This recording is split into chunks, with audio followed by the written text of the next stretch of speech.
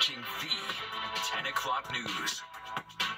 The company that runs the retail space, the Fulton Transit Center, is pulling the plug on its lease with the city 10 years ahead of schedule. The move shining a spotlight on the difficulty of doing business at a time when many people still feel afraid to use the subway. Fox 5's Antoine Lewis has reaction to this news and the city's response. Brianna Roberts stops by Krispy Kreme Donuts inside the Fulton Transit Center regularly, though both she and Krispy Kreme may have to find another location.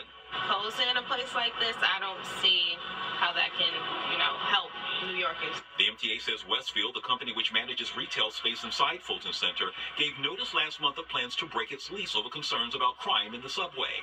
Fulton Center strap hangers are weighing in.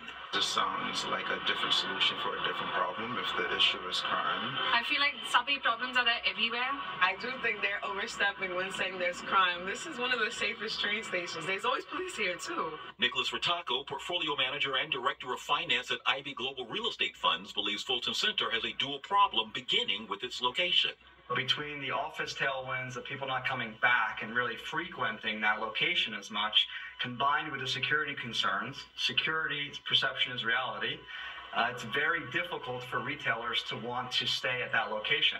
The NYPD reports transit crime is up just over 13% year to date. And to address transit safety concerns, the NYPD deployed 1,000 additional officers to support the MTA's police force.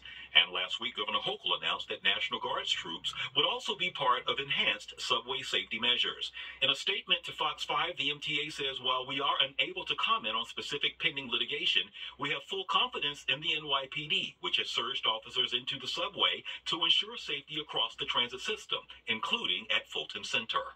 The MTA can't comment any further because it has filed suit to keep Westfield right in place where it is, which of course sets up a showdown in Manhattan federal court. We'll keep you updated, but for now, we're in Lower Manhattan.